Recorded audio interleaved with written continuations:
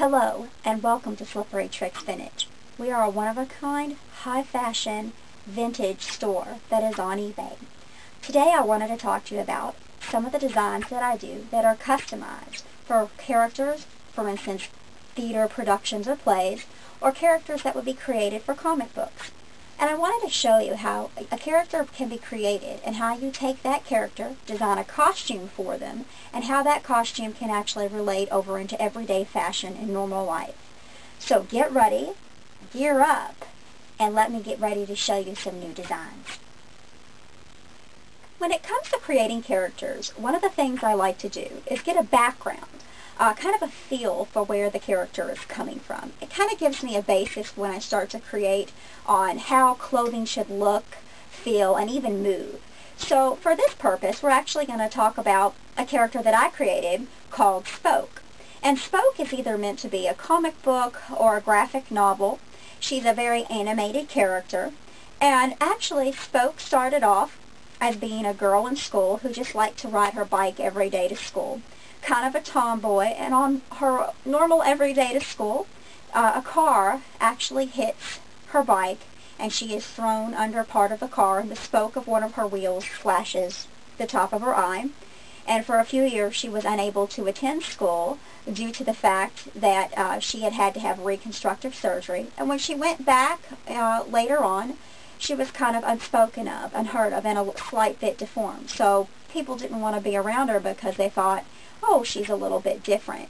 So Spoke's interest kind of went towards motorcycles and being able to make a difference and kind of put an edge on um, on everyday life. So that's the basis of where we're going to take a character from today. And when I think about costuming and I look at the characters that are created nowadays, they're they're very sexy, they're, they're very powerful, and we kind of want to include some of that, but we also want to include something that's different. So for today's purpose, we're actually going to use things like gears and chain, some leather, uh, to see exactly what we can do. So let me show you a few things and take it from concept to reality. When it actually comes down to drawing the character, I like to take my time and I do a, a couple of different drawings to see how I think that the character should look and feel.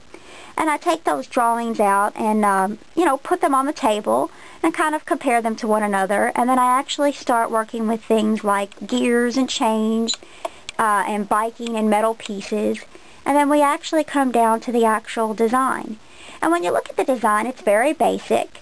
Um, we start off very small, just with basic moving gears, um, possibly a leather jacket, uh, gear on the leg, which can actually be used as a ninja star weapon, um, some high leather boots. Again, they don't burn when you're on the bicycle, because if you're on a motorcycle, you have to worry about the bicycle getting hot and actually burning your shoes. And when you look at the things like the actual gears, I mean, they've come a long way. And this is actually a gear for a bike today. Um, and if you look at it, it does have that ninja star pattern, and it makes one heck of a weapon if you do uh, attempt to throw it. Uh, the smaller gears actually can go on the middle pieces, um, making it kind of work almost in a clockwise way, uh, clockwise motion. And then you have chain, which can be used many different ways. It can be used in the middle of a costume. It can be used as whips. Um, so it's a great, great thing to have. And this is how we start to put concepts together, is actually by drawing well, it out. here we are, back in the studio. And here it is, the costume designed out to a very minimal basis for the look of what we were wanting to achieve from the paper. And if you look, this is a very cool costume. We've got the gears, which are situated at the very front.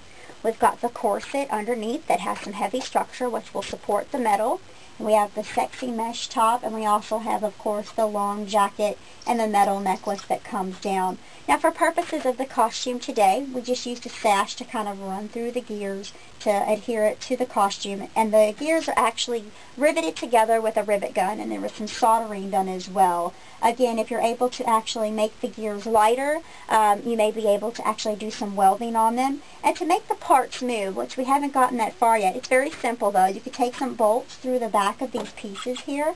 You could actually even use watch parts, which will make the parts go uh, with little smaller gears in the middle. Just It makes a more uh, pleasurable look um, to the sight. And to actually get the gears placed where I wanted them to, um, I used paper cutouts and kind of played with them for a while for the best overall look. And one of the other looks that I tended to like was the three gears. And as you can see here, that also really pops at you as well. So you kind of have options that you can choose from, things that you can try later with uh, the character to take it to that next level. But here it is overall. Now what we're going to do is we're going to take the gears from this level to another level, and which would be the everyday normal fashion wear.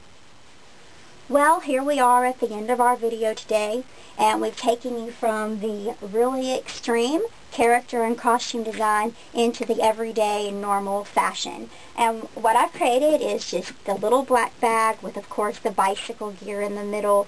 It looks very high-tech. It will get you noticed, and it's different.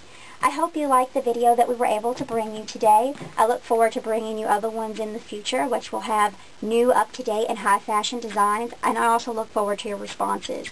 Remember, we're Slippery Tricks Vintage, only on eBay, and we're Vintage by Design, which is available through Facebook, MySpace, and a website coming soon. Thank you for watching.